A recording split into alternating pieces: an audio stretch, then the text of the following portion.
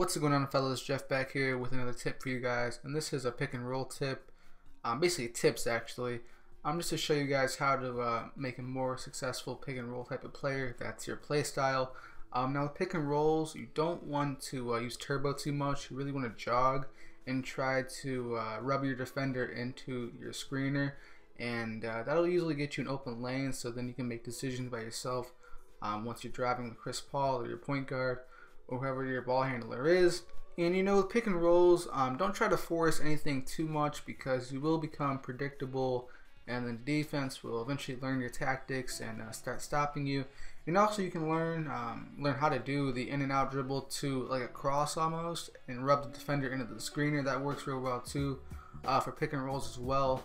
Like I said though, just be patient with your point guard and uh, scan the floor and make point guard type decisions on who to pass to, whether to shoot with the point guard, floater, stuff like that. And I'm going to show you guys how to do like manual pick and roll with like um, specialty type of players like Zach LaVine if you're on the T-Wolves, you want him to be your roll man. Now uh, for manual, you just want to tap the uh, circle button on PS4. I think it's B on Xbox, but you, um, from here you can pick like a, a manual roll man or something like that. And here's a double pick right here, did.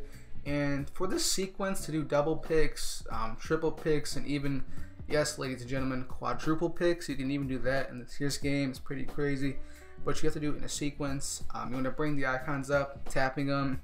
And then at first, you want to hold the first screener's button and then proceed to hold another screener's button all at the same time while holding them together. And uh, you want to look at the, uh, the bar too, so you know if they're rolling or fading or something like that.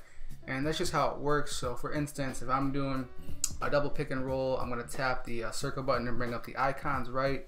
And then say I want Blake and Matt Barnes. I'm going to hold triangle for Blake.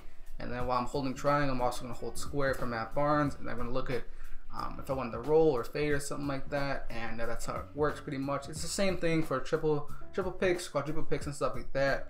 And uh, I'll leave a few notes in the description um, to further explain it in detail to you guys if you didn't understand how I was explaining it in the video, but here are some game clips to show you that it works. Um, you just don't want to become too predictable with it. The quadruple pick could be glitchy, but um, the lobs are defended a lot better this year, so if this was 2K14, maybe it might have been better, but um, I'll definitely use it in games when I'm freestyling and stuff like that. But I hope you guys enjoyed the video. Drop a like and subscribe if you're new to my channel, and if you want 2K15 tips as well.